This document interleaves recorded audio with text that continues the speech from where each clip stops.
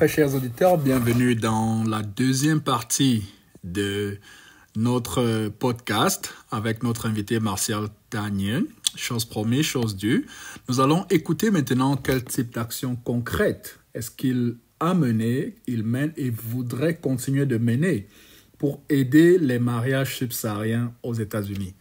Restez accrochés à notre podcast Ton histoire compte. La suite tout de suite.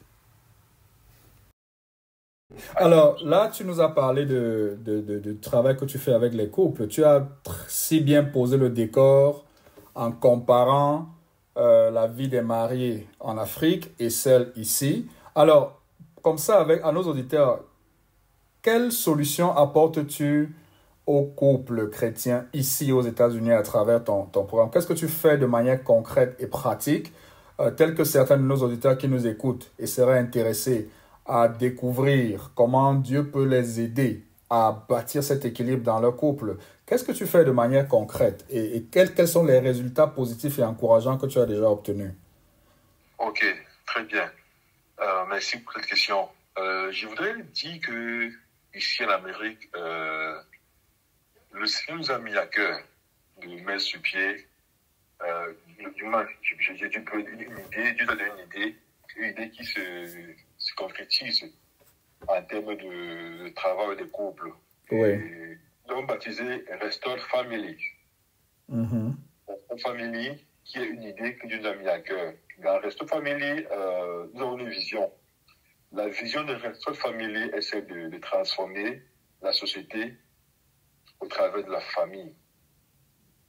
Intéressant. de transformer la société au travers de la famille.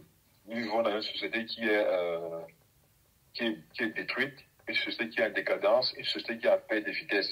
Et nous croyons que l'une des solutions pour rebâtir notre société se trouve dans les familles. Ouais. La, la, famille est l'unité de base de la nation. Mm-hmm. Une famille, nous croyons que euh, la famille est le lieu par excellence de la formation. Nous croyons que la famille est le lieu par excellence pour euh, la formation, nous croyons que la famille restaurée, transformée, épanouie, fera une nation transformée et épanouie. Et euh, afin de mettre en exécution euh, notre, notre vision, nous avons des ceux qui lisent souvent la Bible, nous pouvons observer dans le livre de Néhémie au chapitre 3. Lorsque Néhémie prend la, d'aller rebâtir la muraille de Jérusalem, oui. Donc, il est dit que ce sont des familles qui travaillaient.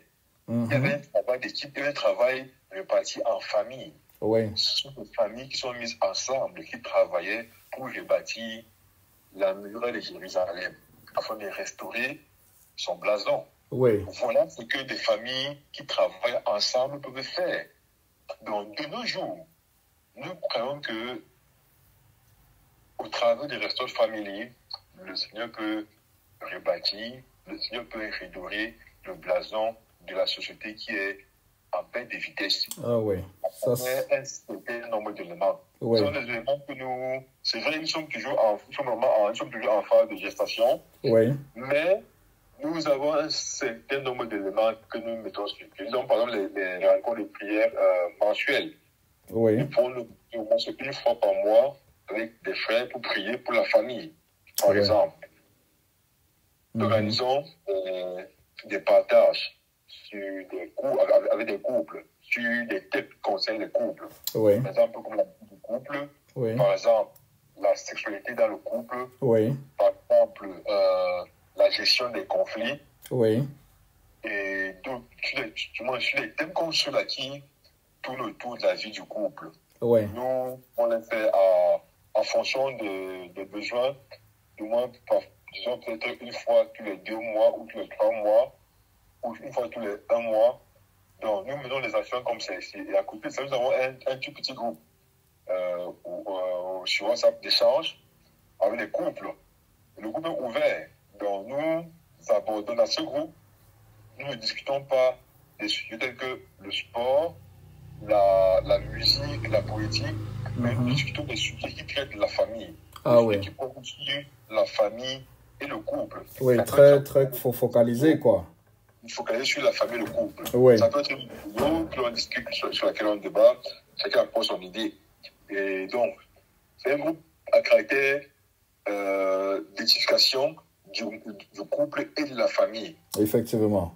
Alors, Oui, voilà. tu as, tu as, Nous sommes aussi sur- aussi sur- sur- on, peut nous retrouver sur YouTube. Nous avons une page, une page You- YouTube. oui, C'est vrai que pas YouTube n'est pas assez fourni, mais si vous êtes sur YouTube, vous, vous, vous trouverez. Oui, et- Euh, Et, et pour, pour appuyer sur le fait, sur la, la, la chaîne YouTube que tu mentionnes, euh, cette, ce podcast sera disponible également sur YouTube avec le lien. Tu pourras avoir la vidéo, le lien et le partager sur, euh, sur, sur, sur, sur ta page pour amener les auditeurs à découvrir une des approches que tu utilises pour, pour, pour soutenir, encourager et être une bénédiction pour les couples ici euh, aux États-Unis. Alors, la dernière question avant que... euh, L'avant-dernière question. Il y avait, euh, en termes de résultats, Oui, oui, oui, oui, justement. en termes de résultats, euh, C'était sur ça, en fait, que je voulais insister, oui, oui.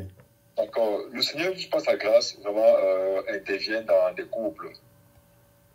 Nous avons des actions que nous menons souvent qui n'ont rien à voir, qui, qui ne se retrouvent pas dans le groupe, quoi. Mhm. À un moment donné, nous pouvons être confrontés à des. Nous pouvons avoir sur la main des couples qui traversent vraiment des moments de crise. Et on a souvent eu des cas comme ceux-là. Nous menons des actions pour la réconciliation. Et ceci euh, fait appel à d'autres bras. Nous pouvons, faire appel à- appel à un euh, conseiller matrimonial chrétien qui prend attache avec le couple. Et en parallèle, on a à côté d'eux, on a des, personnes qui prient pour ces couples-là. Nous avons au moins deux cas de couple qui étaient vraiment sur le point de voler à l'éclat. Et ça, le temps que ça a pris, Mhm. le couple vraiment est passé par le moment très difficile. Et de nos jours, ils peuvent témoigner de ce que Dieu a fait dans leur vie. Ah oui, ah oui. Oh, nous rendons grâce, à, nous rendons grâce à Dieu pour cela. Oui. Et on a un second couple sur même prière. Et ils sont en voie. Nous croyons que Dieu est en train d'agir parce qu'au début, euh, l'un des partenaires s'était fixé comme un délai pour, voilà, pour mettre fin à la relation et tout. Oui, Mais les choses ont changé et le Seigneur est en train euh, d'agir. nous rendons grâce, nous rendons grâce à Dieu pour cela. lui fait confiance. Et même, on a des enfants, on a des cas de couples qui ont des enfants qui ont des difficultés sérieuses, Oui, que ce soit sur le plan spirituel ou que ce soit sur, sur le plan de l'intégration en société et en famille, pour lesquels nous prions. Nous prions et nous comptons sur la grâce de Dieu pour ramener le cœur de ces enfants à leurs parents, pour ramener le cœur de ces enfants au Seigneur. Donc, voilà un peu, pour ne pas euh, trop mettre de temps dessus. oui, Ça, alors- les partages que nous faisons dans le groupe? oui, oui, oui. Recevoir euh. Et, et auquel j'ai- j'ai j'ai eu le temps de, de participer. J'ai été très occupé. C'est pourquoi tu as, comme je t'avais dit, tu avais remarqué Oui. mon absence. Et puis, je voulais être un peu plus concentré, focalisé pour euh, vraiment pérenniser ce travail de podcast, parmi lequel, euh, comme tu vois, j'ai pris la peine de, de, de, t'inclure. Alors, pour, euh, pour, pour, pour, pour chuter, imaginons que nous avons un jeune couple, un couple, pas jeune nécessairement, qui est en train de venir aux États-Unis aujourd'hui. Quel conseil leur donnerais-tu pour qu'ils aient un couple chrétien, puisque c'est avec cette population que tu travailles? Quel conseil leur donnerais-tu pour qu'ils gardent leur foi chrétienne enracinée et qu'ils atteignent le niveau où ils commencent à penser à impacter les autres Quel conseil leur donnerais-tu pour qu'ils réussissent leur vie, non seulement chrétienne, mais leur vie en tant que couple, et s'ils ont des enfants en tant que famille, et qu'ils soient aussi une, bénédiction pour d'autres familles? Très bonne question, Hervé.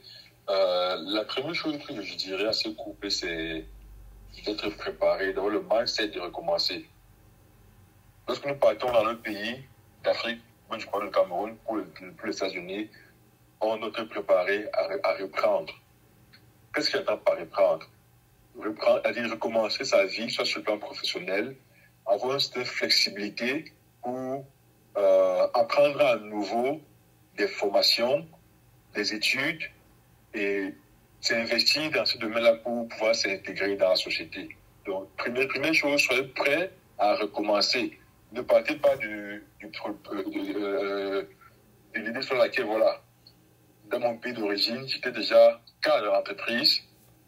Donc, si j'arrive là-bas je trouve un bout de cadre, je ne le ferai pas. Mhm. La plupart de nos pays d'Afrique sont prêts à recommencer, sont prêts à commencer à refaire des boulots de manœuvre, de rien du tout, pour pouvoir se faire un chemin. Ah ouais. La Mhm. même chose, c'est mettons Dieu au centre. Ah oui. Mettre Dieu au centre, oui. Mettons Dieu au centre de nos foyers. Beaucoup sont parfois, on- on- j'ai souvent remarqué que beaucoup sont entrés dans le mariage sans avoir une bonne base biblique, sans avoir une bonne base chrétienne. Et une fois dans le mariage, certaines difficultés arrivent.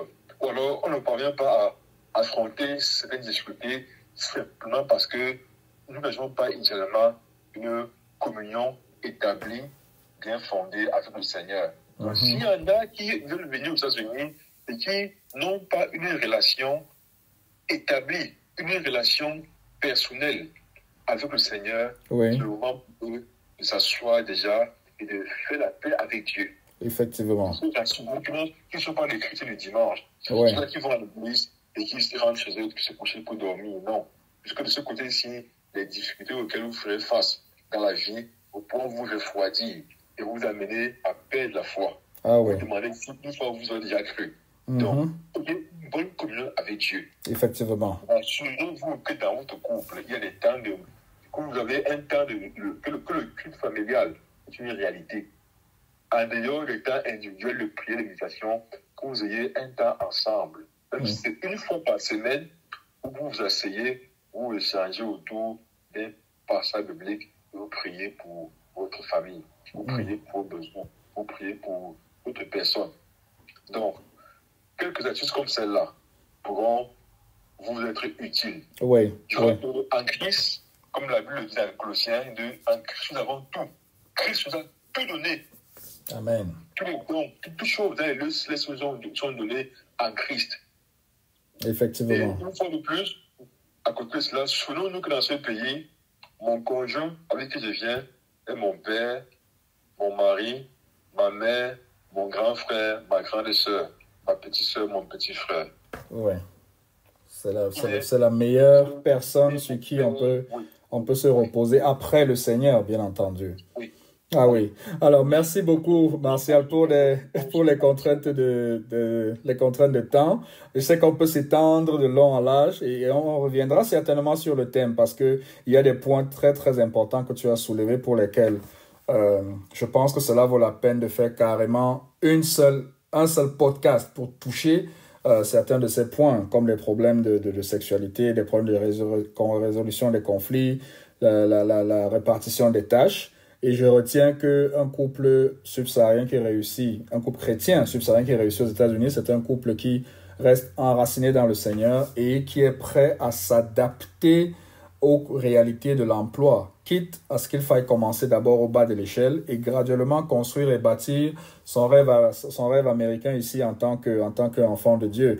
Alors, merci beaucoup, merci beaucoup, Martial. Comme je te disais, à la plupart du temps, on prévoit 20 minutes de podcast, mais c'est généralement tellement riche d'écouter ce que nous traversons ici. Ju- Juste ce que tu as parlé, ce dont tu as mentionné aujourd'hui, tu, tu, tu pourrais ne pas avoir idée de combien sont en train de lutter, combien sont en train de, de, de, de- peiner et qui ne savent pas vers qui se tourner. Ils ne savent pas que le Seigneur est là, ils ne savent pas qu'il y a des, des personnes que Dieu a mis là pour que ces personnes les écoutent, prient avec eux, les encouragent. Et ce que tu fais, ce que tu fais avec ton épouse et ces personnes, euh, c'est vraiment merveilleux. Donc, merci beaucoup d'avoir euh, euh, d'avoir participé. Et j'espère que on, on t'aura encore pour la prochaine fois, surtout parce que je planifie avoir aussi des, des- des- un podcast où on aura des entretiens avec des panels de personnes. C'est possible aujourd'hui de, de, de pouvoir avoir des conversations à 3 à 4, où on pourra toucher des points en profondeur, même avec des experts, pour édifier, édifier notre communauté euh, ici. Gloire à Dieu. Ok, ok, bonne soirée à toi et salutations à la famille. Dieu te bénisse. Ok. D'accord, merci beaucoup. À la prochaine. Alors, merci beaucoup, chers auditeurs, d'avoir euh, écouté ce podcast. Euh, comme nous le disons, voici la version, le narratif de certains, beaucoup de couples subsahariens aux États-Unis, particulièrement la communauté chrétienne. Si tu voudrais donner ta version de ton histoire, nous voulons te dire, je veux te dire que ton histoire compte. N'hésite pas à me contacter si tu aimerais donner ta version de ta vie en Amérique. Ciao et au prochain podcast. Bye bye.